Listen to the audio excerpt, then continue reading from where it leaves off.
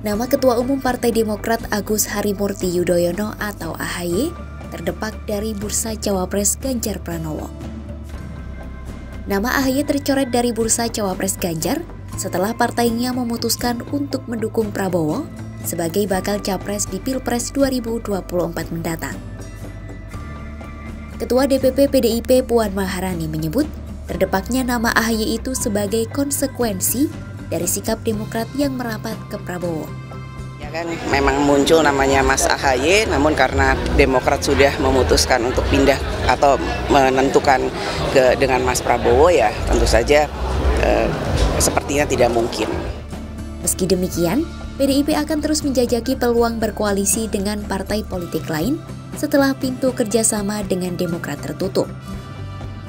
Menurutnya, dinamika politik akan terus berubah-ubah hingga batas pendaftaran calon presiden dan calon wakil presiden pada Oktober mendatang. Ya, sekarang sedang kita jajaki kemungkinan-kemungkinan tersebut.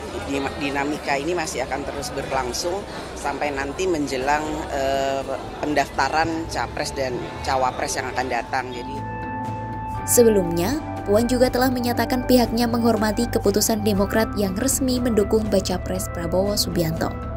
Meski Puan menyebut PDIP dan Demokrat telah melakukan pembicaraan-pembicaraan. Namun, pada akhirnya, setelah keluar dari koalisi perubahan untuk persatuan, partai yang diketuai oleh AHY itu melabuhkan dukungannya kepada bakal capres koalisi Indonesia Maju, Prabowo Subianto.